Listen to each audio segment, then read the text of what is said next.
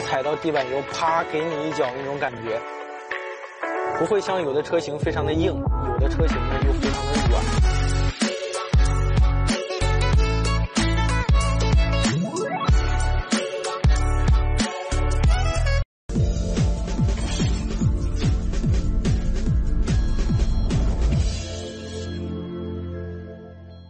克品牌作为中国自主品牌里面非常有特点的车啊，今天我们非常有幸的受到了领克的邀请，来试驾他们的 PHEV 车型，看看他们的 PHEV 车型的表现到底如何。Let's go！在今天的试驾活动中，我特地挑选了领克零一家族全新的领克零一 PHEV 版来进行试驾。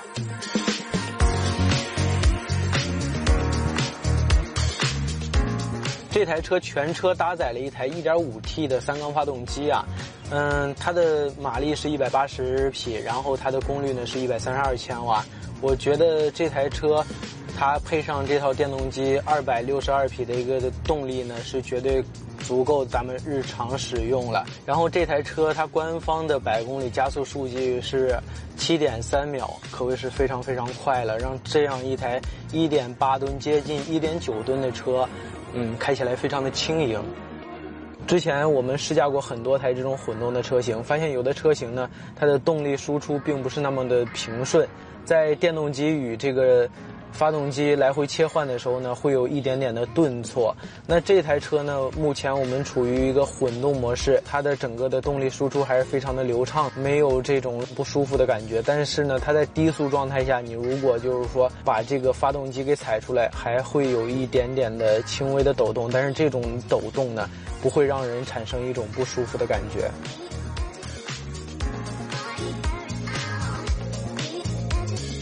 这台车搭载了吉利最新的 P2.5 传动技术，将这个电动机放在了变速箱的里面，然后使得它的传动效率非常高，非常的节省它的能源。领克零一 PHEV 基于 CMA 电气化模块架构打造，将这个电池呢放在了这个车的中间的位置，使得这个电池呢非常的安全。那另外一方面呢，又让这台车在高速行驶的时候的它的稳定性会变得更好。那这台车在开起来呢，我觉得它有点像传统的燃油车，不像那种嗯 EV 车型、纯电车型，嗯，你踩油门忽然给你一下、给你一脚的那种感觉。它这个动力输出呢是非常线性的，非常舒适，开起来很惬意。我觉得这台车的一个底盘表现，它整体来说还是非常的运动、有韧性的。那在过一些减速带的时候，它可能回弹的速度不够快。然后导致这台车呢，呃，在过减速带的时候可能有一些飞起来的感觉。但是，嗯，它作为一台 SUV 来说，我觉得这样的表现已经非常不错了。不得不说啊，这台车的刹车的表现，我觉得是非常非常的不错的。它的一个刹车时的这种阻尼感，让你的脚在刹车上面踩刹车的时候非常的舒适啊，不会像有的车型非常的硬，有的车型呢又非常的软。这台车的 NVH 的表现非常非常的好，它前面用了双层夹胶的一个玻璃，另外呢，它这台车，嗯，相比老款车型的八个音响提升到了十个音响，而且全系标配燕飞利式音响，它的音响效果真的非常的不错。在下班的时候，你听着这样的歌，然后开着这样一台安静的车，我觉得真是一种享受。领克零一 PHEV 版，它的整个的外观呢没有太大的变化，它的车长和车宽呢都有略微的增加。它车辆的前部呢取消了原来的雾灯的一个设计，让前面的设计呢更加的犀利。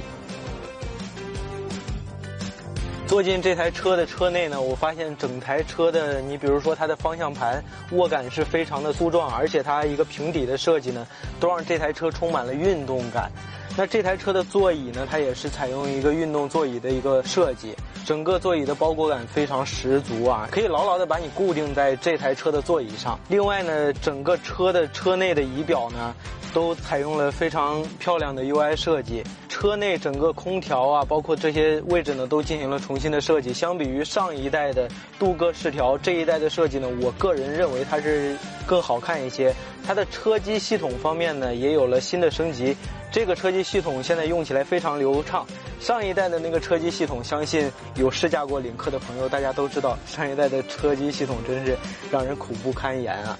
还有整个的空调温度调节、风量调节这些按钮呢，都直接触手可得，而且用起来非常的舒适。包括它的音量调节按钮呢，也设计在了你的右手旁边，嗯，调节起来非常的方便啊。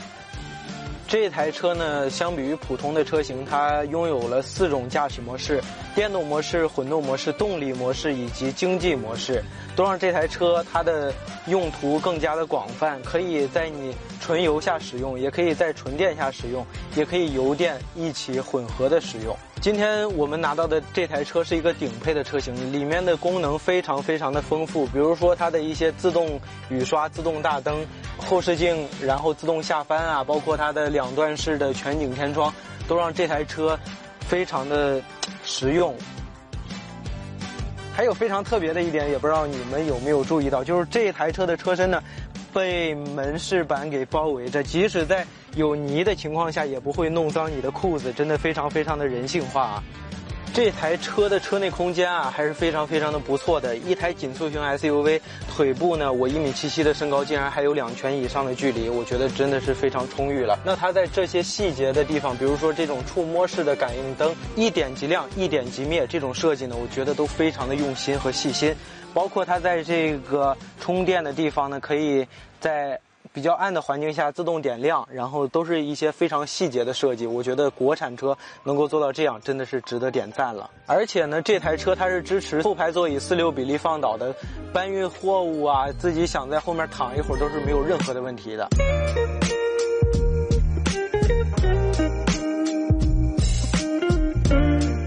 试驾完这台车，我发现，如果你是一个年轻人，如果你有二十万左右的购车预算，那如果你又想要一台 SUV，然后又有绿牌的需求，又方便安装充电桩的话，我觉得这台车真的是你非常不错的选择。